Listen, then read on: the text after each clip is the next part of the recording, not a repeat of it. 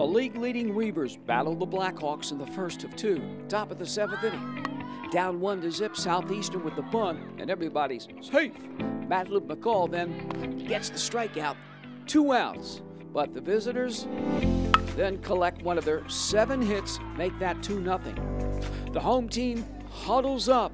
Break it up and on three, one, two, three. Break it up. Now Big Blue held hitless through six, looks to break it open in the seventh inning. Batea Martin breaks up the no-no with a leadoff double to the gap.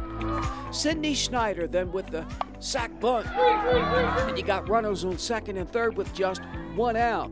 Alex Stoner, almost. That's two. Alex Bailey to short, and that's three. The Blackhawks win game one, two to zip, but Iowa Western takes game two in the last at bat, six to five. The first place Reivers record now 28 and 16.